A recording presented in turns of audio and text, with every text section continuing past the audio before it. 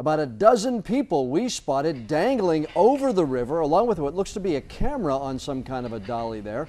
We know the production is expected to shoot in the area next week and today it looks like a stunt team actually tested out some kind of a rig for a shoot downtown.